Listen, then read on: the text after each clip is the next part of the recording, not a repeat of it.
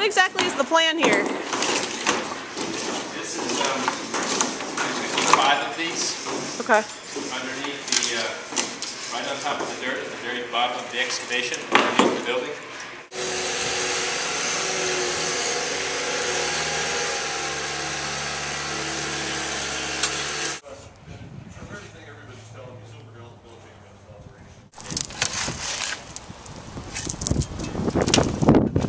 What's the purpose of having the ground loop under the foundation?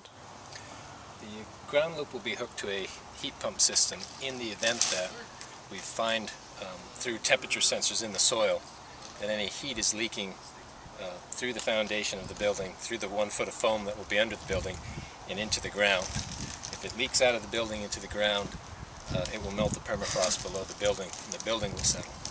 So if we find the temperature in the soil rises above freezing, turn on the heat pump and suck the heat out and bring the temperature back down. Okay, so we'll be monitoring the ground temperature too. Yeah, there'll be a series of, uh, of boreholes with temperature sensors in them, and they'll be monitored, monitored continuously.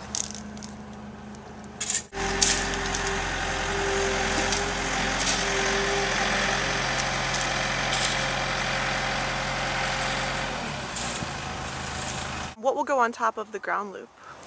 Right as you see here, we're going to put a, uh, a, a geotextile fabric. We'll cover the entire surface of it. Then uh, um, 18 inches of gravel will be uh, put in in 8-inch lifts and, and, and, compacted. And then one foot of foam. And that's where we'll start our uh, uh, concrete foundation on top of that one foot giant raft of foam here. Hopefully we won't have to use it.